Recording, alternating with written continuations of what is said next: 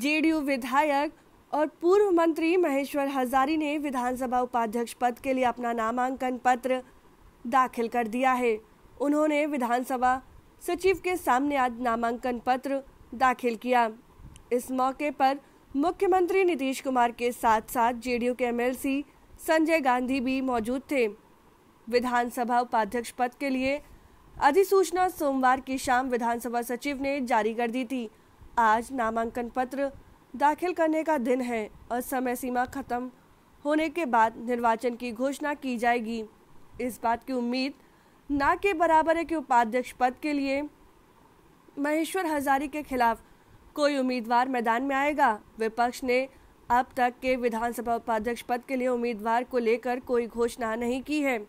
विधानसभा अध्यक्ष का पद पहले ही बीजेपी के पास है। विजय कुमार सिन्हा विधानसभा अध्यक्ष चुने जा चुके हैं और अब विधानसभा उपाध्यक्ष के निर्वाचन की प्रक्रिया चल रही है। समस्तीपुर, कल्याणपुर विधानसभा सीट से महेश्वर हजारी विधायक हैं।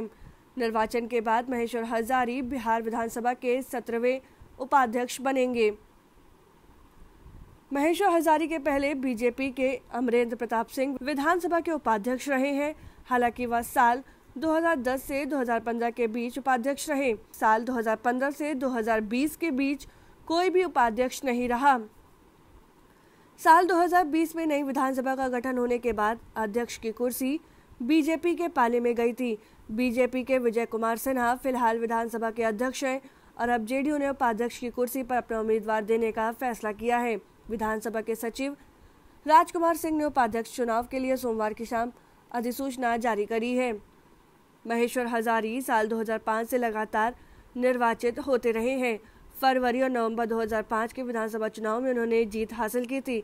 उसके बाद साल 2009 के लोकसभा चुनाव में जीत हासिल कर वह संसद पहुँचे थे। 2014 तक के संसद में रहने के बाद 2015 में वह विधानसभा के लिए निर्वाचित हुए। 2020 के विधानसभा चुनाव में भी उन्होंने जीत हासिल की। पिछली सरकार में वह मंत्री के पद पर भी रहे।